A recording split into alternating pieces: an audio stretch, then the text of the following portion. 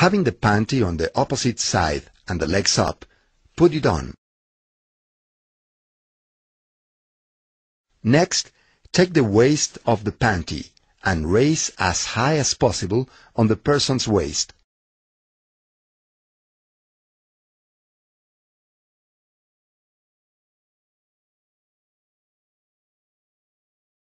Open the suspension triangle and transport fat tissue from the belly and the leg.